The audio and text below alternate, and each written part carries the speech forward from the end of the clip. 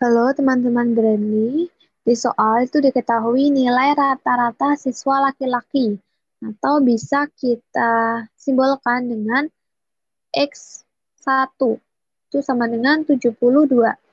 Kemudian nilai rata-rata siswa perempuan itu kita simbolkan dengan X2 itu sama dengan 81. Sedangkan nilai rata-rata kelas itu ada 75. Berarti di sini ada X bar-nya itu 75.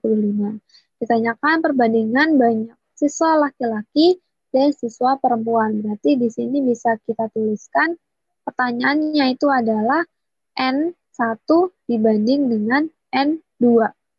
Nah, kita langsung jawab menggunakan rumus rata-rata gabungan, yaitu X bar sama dengan X1 dikalikan N1 ditambah X2 dikalikan dengan N2 dibagi dengan N1 ditambah dengan N2.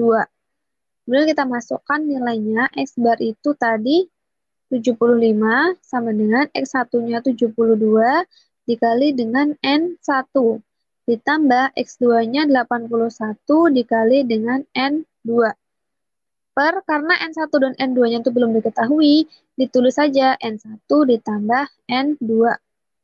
Kemudian ini kita hitung dengan cara dikali silang. Jadi 75 itu dikalikan dengan N1 ditambah dengan N2. Jadi 75 kali N1 ditambah N2 itu sama dengan 72 N1 ditambah 81 N2 sehingga diperoleh 75N1 ditambah 75N2 sama dengan 72N1 ditambah 81N2. Nah, ini bisa digabungkan untuk yang sama-sama N1. Jadi, 75N1 dikurangi 72N1 sama dengan 81N2 dikurangi 75N2.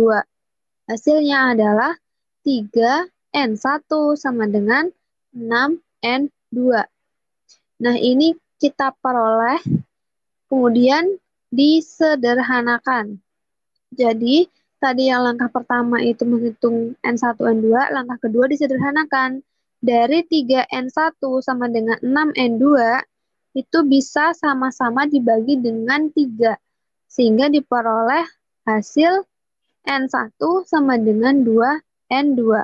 Sehingga kesimpulannya perbandingan siswa laki-laki dan perempuan itu adalah satu dibanding dua. Pilihan jawaban yang A.